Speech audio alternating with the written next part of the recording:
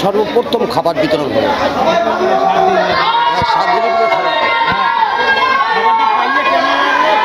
খাবারটা রেখে খুব উপকার হবে এবং ভালো লাগে।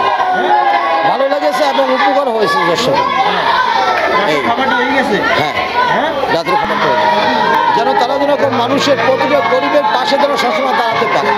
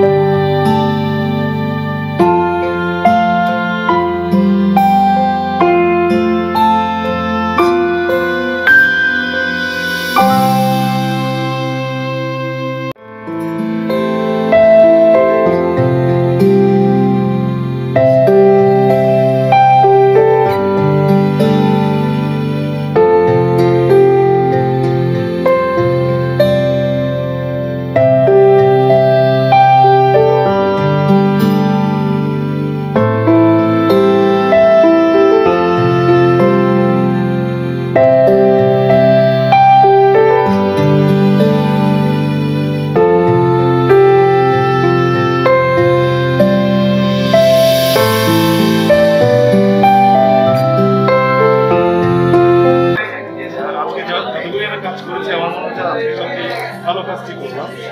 দিন শেষে আমি হিসাব করি আসলে কি কাজটি করলাম। আমার কাছে মনে হচ্ছে যে আজকে এটি একটি ভালো কাজ করলাম। আপনারা জানেন যে আমরা সবসময় প্রত্যেকে কিন্তু আহারের চিন্তা করি আমাদের ঘরে ভালো খাবার থাকে। এটা এই শ্রমজীবী মানুষ, গরিব মানুষ যারা লকডাউনের মধ্যে আয় কোনো কিছুই করতে পারছে না, তাদের জন্য খাবার আসলে একটি বড় বিষয়।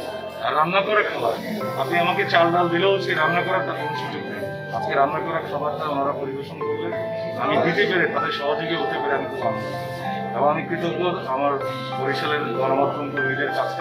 আমি বরাবরই সবসময় বলে আছি গণমাধ্যম কর্মীরা হচ্ছে এই বরিশালের তাদের স্বচ্ছ তাদের যে আন্তরিকতা, তাদের যে মানবিক দৃষ্টিভঙ্গি, এটি আমাকে আকর্ষিত করে। আমি আজকে কথা দিয়ে যাচ্ছি, এটি চলমান থাকবে যখন যতদিন পর্যন্ত আমাদের এই অভাবটি থাকবে। আমি জেলা প্রশাসক, ওনারা যতটুকু পারবেন, তারপরে আমি বাকিটা আমি চালিয়ে দেবো।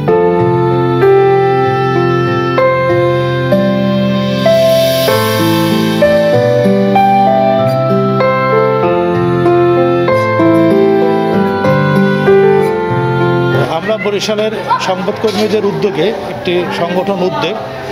এটির আয়োজনে আমরা গত বছরও প্রায় সাড়ে তিন মাস এখানে যারা ভাসমান গৃহহীন যারা আছেন, তাদেরকে আমরা খাবার পরিবেশন করেছি। এবারও আমরা আজকে থেকে আবার সেই খাবার পরিবেশন শুরু করলাম। আজকে বরিশালের মাননীয় মেয়র ভার্চুয়ালি আজকে আমাদের এই কার্যক্রম উদ্বোধন করেছেন। আমরা আশা করছি যতদিনই লকডাউন থাকবে, আমরা এদের মাঝে আমরা সেই খাবার পরিবেশন করব।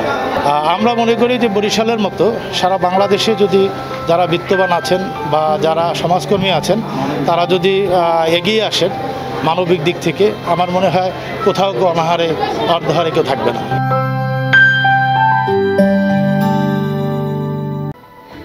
দর্শক, কেমন লাগল আমাদের প্রতিবেদনটি? কোনো মন্তব্য বা প্রশ্ন থাকলে আমাদের জানান এবং আমাদের চ্যানেলটি সাবস্ক্রাইব করুন।